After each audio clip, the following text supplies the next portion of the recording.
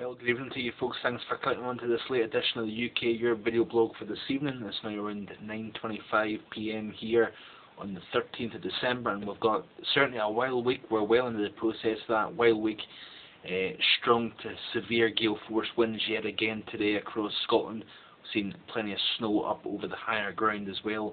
And it's going to be a pretty wild night as well, folks. Those isobars continue to be tightly packed we're seeing very strong westerly winds, and those westerly winds are blowing in colder air that's getting driven all the way down and over a deep trough that we're seeing over the North Atlantic. And it's basically feeding very cold air off Greenland across the Atlantic and of course the system that we're currently uh, experiencing at the moment uh, is basically dragging that cold air in off the Atlantic and uh, helping uh, reduce snow levels down to around 100 metres tonight. So of course, combined with the, the very very strong to severe gale force winds that will howl a good part of tonight, uh, we also will see the rain turning more to snow uh, down to fairly low levels, not down to like sea level or anything, but certainly about 100 metres or above.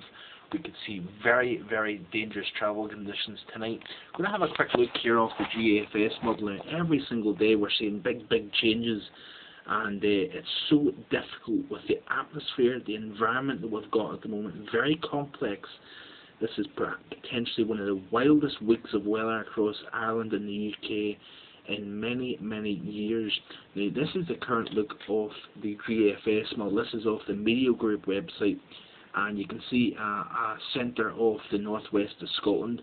Of course, uh, Ireland, and particularly the northern part of the Republic, into the northern, uh, into Ulster, we're seeing very tightly packed isobars. Notice again south, the centre here, to the south of that centre, we've got the strongest winds, and of course they're howling in off the Atlantic. We're seeing a, a, a wave height off the Donegal coast of 66 feet, that's 20.4 metres. Apparently that's the highest wind uh, height, wave height uh, in Irish waters on record, which was quite interesting. I found the tightly packed isobars you notice here across Northern Ireland could be seeing 70 to 80 mile an hour gusts tonight across that exposed coast and of course down uh, in the Strathclyde, south through Ayrshire and in Dumfries and Galloway as well, could be seeing uh, winds uh, quite easily into the 70 to 80 mile per hour range tonight. So combine that with the uh, with of course north to south uh, routes, quite dangerous travel conditions. But as well as that, folks, we have to look at uh, the potential for snow anywhere from the southern highlands as well as uh, through the southern uplands of Scotland. And potentially we could be seeing some heavy snow up over the northern Pennines as well, up through over the, the York Moors um, tonight. So a pretty horrendous night to be out and about. But I'm going to continue to skip ahead through the sequence, folks. And uh, you'll continue to see that the, the that low starting to skip off towards Norway and Sweden uh, and isobars uh, remain fairly tightly packed. This is for tomorrow, so a pretty strong westerly wind blowing across Scotland and into England as well. Continuing to stay quite unsettled. See another system here that's actually scooting across uh, the, the Midlands, and that actually could produce some pretty strong winds across the uh, English Channel uh, over the course of th uh, Wednesday into Thursday. And I'm going to uh, skip, continue to skip through the sequence, folks. And you can see an area of low pressure starting to appear in the chart. That there is a system that we're watching very, very carefully.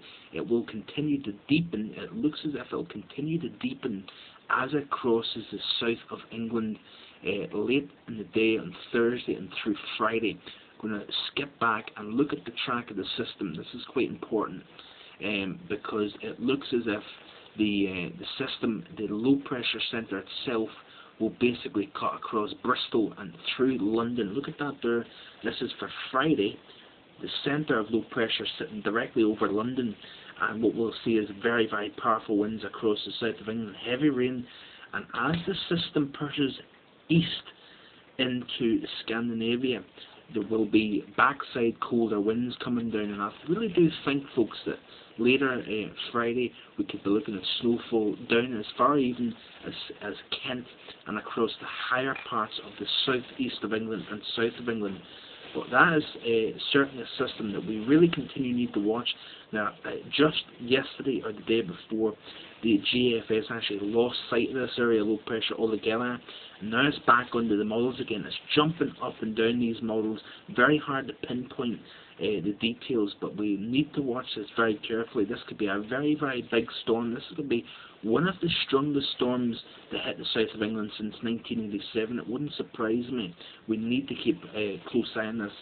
And as we skip ahead into the weekend, look at the deep low that's going to be cutting across uh, northern uh, Holland into the north of Germany. We could be looking at a severe storm for both the Low Countries, northern France, the Low Countries of Belgium and Holland, into northern Germany and into the southern part through uh, Denmark and into the southern part of Scandinavia.